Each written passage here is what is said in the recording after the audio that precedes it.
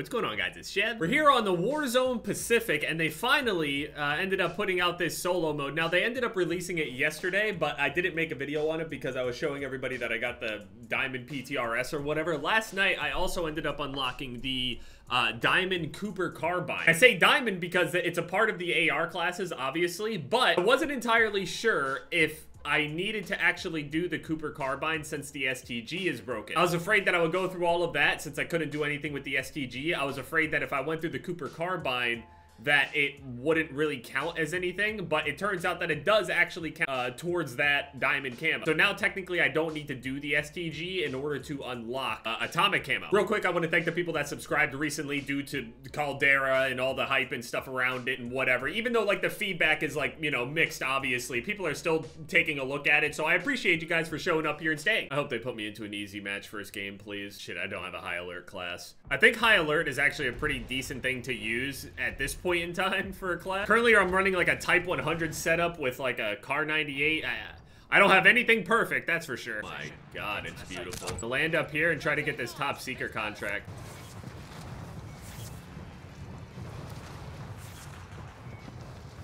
Uh, yeah, well, uh, about peak, uh, that didn't work out, so... Oh. Okay. We're, we're just gonna crash. Okay, what did I do wrong? This shit just straight up closed. I didn't even get a dev error. It just closed. I jumped out of the chopper too early and I didn't make it, so uh... I know that if I landed in that lower part of the peak area, anyone that landed on the top of the bunker kind of thing are just gonna look down and shoot me like fish in a barrel. So I was like, that's probably a bad idea to just land there. So I was gonna fly past it and just land somewhere else, but the game had other plans for me, I guess. I tried to shave my neck, and to be honest, I think I fucked up. I'm not even gonna show it, I, but I tried. So a little bit more time has passed, and people have had a little bit more time with, uh, you know, Caldera in general. There have been more people out there that have, like, kind of figured out, like, a little bit more of the flow of the game and things like that, on top of, like, solos and stuff, but also people have tried the normal Battle Royale mode now, and they feel like the game plays a lot better outside of just the, like, Vanguard mode, but the Vanguard mode is the only way you can play solos at the moment, which I, I don't necessarily mind it, but the biggest thing that most people are complaining about are the, uh, loadouts. Not the planes, not none of that shit, the loadouts. The fact that you have to wait in order to get your loadout is just nightmare. It's not cool. I didn't get all my attachments on my weapons either. All right, let's try to land at peak again. Started with 135 people, which is strange. There's 60 people currently. I feel like I fall so much faster for some reason.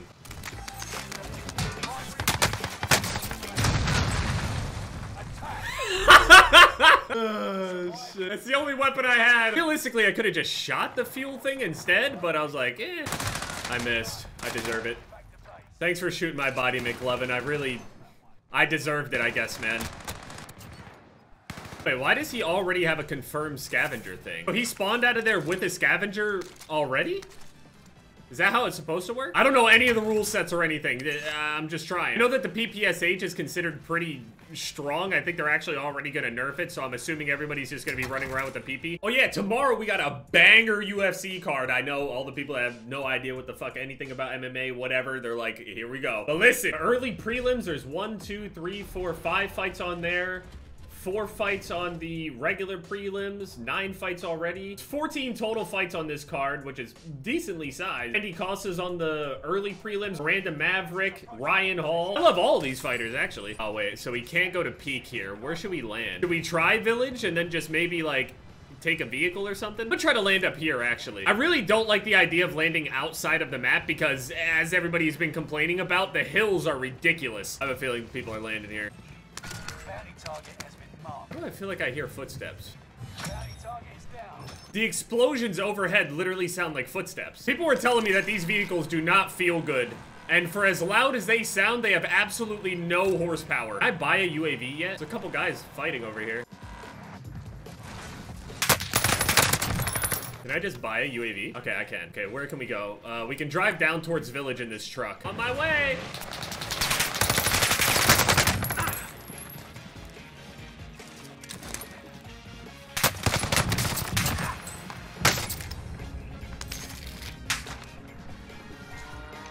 Why is it so hard to drive cars in this map? Holy shit. Help the vehicles! Give them a little bit of juice!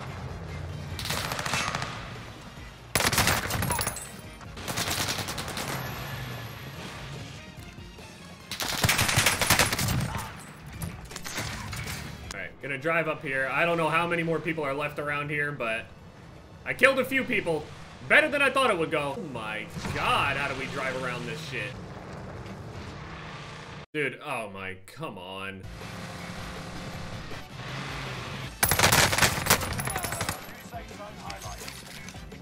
Alright, let's go to our loadout. Grab it right quick. If I could drive up there, I would, but people were saying that you drive much faster when you're actually, like, on the road in comparison to other shit, but... Go over here and buy a UAV. This card is actually super stacked. I mean, I don't even know who's gonna win this matchup with Oliveira, and I, I don't even know. Mean, okay, man, you can hide the whole time. You're not gonna win any games that way, so do whatever you want, man. He just wants to survive. Like, that. that's the best thing he's got going. Just wants to live. Gonna fuck with his psyche a bit. He thinks I just gave up on him, don't want to bother with it. So I'm on my way back.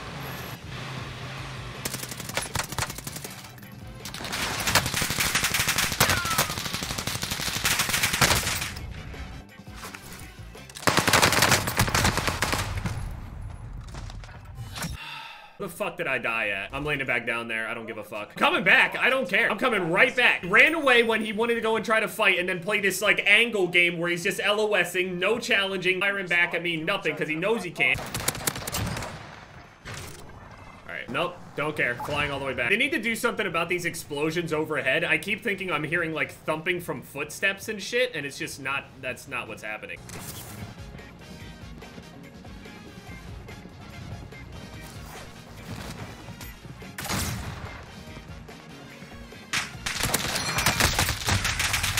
Somebody else picks me up, but whatever, man. Fuck! So frustrating, and I downed him, and now he's gonna run over there and get killed by him. Conrad is so dog shit. I bailed out so hard.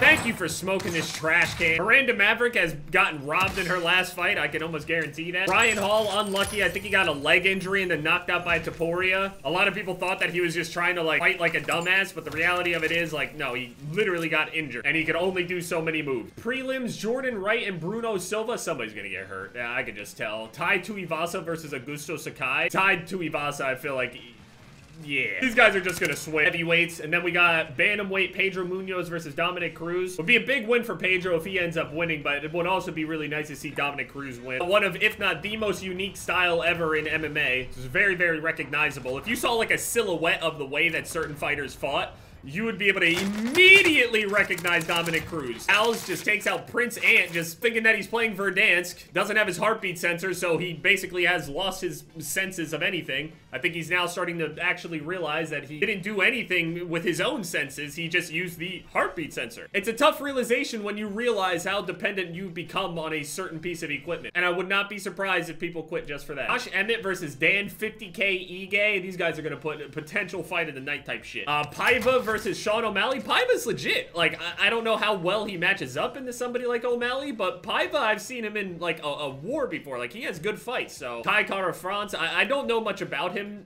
admittedly. I didn't watch too many of his fights, or maybe I have, but I just don't really remember him very much. Against Cody Garbrandt, who's actually making his flyweight debut, and he is favored. I'm hoping that the same thing doesn't happen to Cody Garbrandt the same way it happened to, uh, Frankie Edgar. Frankie Edgar, when he was the 155 pound champion back when I was in like high school, like was known to have like really good game planning, really well rounded, but he was very, very fast. But the thing is, he was a little bit too small for the weight class. So a lot of people felt like, oh, well, if he does lose at 155, which he did inevitably, if he moves down to 145 instead, it would be a better weight class for him. But it turns out that that speed advantage that he had at 155 ended up diminishing because he's now fighting people that are a little bit faster. They're a little bit closer to him. So Cody Garbrandt is also another one of those guys where they're talking about this feeling like his natural weight class, and he also has a speed advantage over most people he fights. Is he actually going to be faster than people at flyweight now? That's the question. Because if he's not,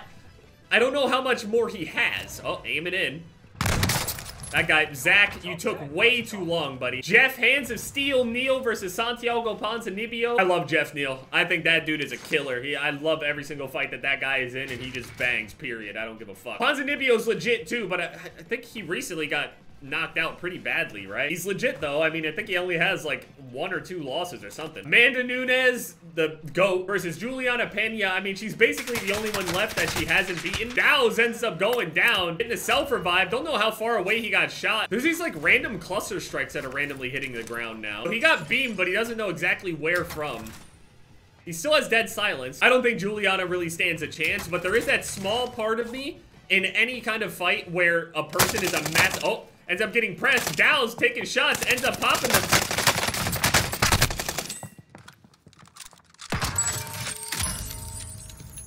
That was just a very sloppy gunfight on both ends there. I mean, to be fair, I don't think he expected him to jump up and 50-50 grind the couch or anything from Smitty, but I think Amanda Nunes by absolute murder. Um, oh, ends up beaming him.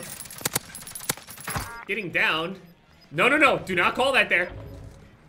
He's now calling it smart, smart, smart. Now, the thing is, the guy's gonna have enough time to be able to up and run away immediately. Yeah, he got away. He actually managed to get out, so... If I were that guy, I probably would have backed up completely, or I would try to cut him off. He's going right towards his loadout, though, so it's top six. Only five kills. I haven't seen people drop very many high kills in this uh, map yet. The highest I've seen was like 20...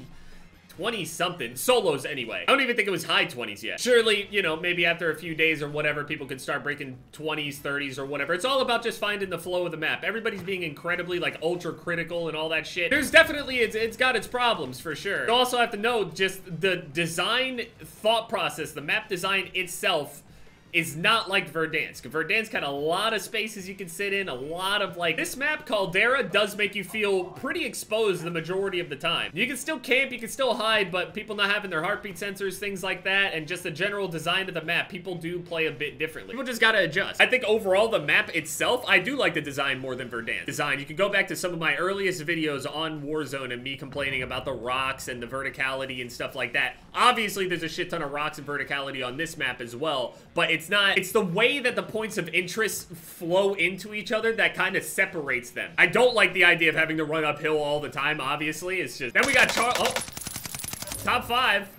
Smitty taking shots at him, got the STG, ends up downing him. Good shot. Very, very little recoil on this thing, despite having that wire stock on there as well, which actually I think hurts your recoil control. Charles Oliveira, Dustin Poirier, I mean, that's going to be such a hard fight to call. I, I don't really know. Dustin is minus 150, Charles is plus 130. Charles wins this, there's probably going to be, like, discussion around him talking about, like, oh, he never fought Khabib and blah, blah, blah. I don't really know what's going to go on there. I doubt Khabib would come back, but if wins that, then I assume Gaethje's next. If Dustin wins, I assume... I thought he said something about 170. I don't really know how that's going to go for him. I don't think he's, like, his frame. I don't think it's that great for 170. Getting shot. Guy's sitting up on the hill directly above him, and there's someone directly behind you. Behind you! Did he down the other guy? Like up on the hill or something? He might have. No, no, he didn't. He took a shot at him. And to firing back. 1v1 situation, final circle. The guy has the high ground, but Smitty just keeps paying attention. Ends up breaking armor, cracks the armor, wants to go and press him. He ended up firing back and it slowed him down a little bit. That was actually good return fire right there because he absolutely would have been on his ass otherwise. Oh, you got to start rotating though. You got to start rotating. He's going to be... Oh, this is bad. Man, this thing doesn't move at all. Holy shit. He did like a weapon pass last night, but to be honest, I thought it was gonna be a lot bigger of a patch. Takes the shot. Good shot. Smitty ends up knocking him down. He's gonna try to climb up there and challenge him. He shouldn't be able to go and win this gunfight. He ends up hopping up. Jumps down, shoots him in the back, breaks the arm. He almost lost that shit. I would have been so disheartened if he had actually lost that gunfight. Holy shit, what happened? I'm wondering if they're gonna ever add like the regular BR with every weapon in it solos. I wonder how that's gonna play any differently. I'm trying to determine whether or not I like this one or the older way more. I love the fact there's no heartbeat sensor. I love that shit. I don't like the loadout change. I think it's complete shit. I'm gonna pick O'Malley. I'm gonna pick uh, Garbrandt, Geoff Neal, Amanda Nunes, and Ooh. The top one is the hardest one to pick for me. The main fight, Charles Oliveira versus Dustin Poirier, is the hardest one to pick for me. I know that Dustin's favorited. I've seen Dustin overcome a lot more than I've seen Charles Oliveira overcome. But Oliveira's finishing rate with his well-roundedness and in his champion form, he might be more dangerous than Poirier. But Poirier is more consistent. I can see Charles Oliveira finishing him. He could potentially hurt him on the feet and submit him. I could also see Dustin just putting the pressure on Charles and Charles kind of wilting. The dig that most people have against Charles Oliveira is that they've seen him, quote, quit and not have heart and things like that. But at what point in time did you see him quit? Because it's been years since you've ever seen him do that. Obviously, every fighter looks good when every fight's going their way, but Charles literally got hurt, knocked down by uh, Chandler in a very recent fight, and came back and knocked him out back. So that to me, that just screams heart. He does have heart. Does he have the cardio to deal with Dustin's pressure and cumulative damage, though? That's going to be the same question if Charles does somehow win this. It's going to be the same question when he goes and fights Justin Gaethje. I'm picking Dustin on this one. I think the Diamond is just too consistent. It's too resilient. Solos, I'm going to keep grinding the solos out and shit like that. I don't know how many I'm going to play in a day, how fun it's going to be, whatever, but I'm happy that there's something new going on in Warzone, you know, to kind of change the flow of everything. And uh, right now, uh, everything in multiplayer that I can do over on uh, Vanguard is completely finished, so I can do some bad class setups, but to be honest, at this point, no one has even found the quote best class setups yet, so it'll take time.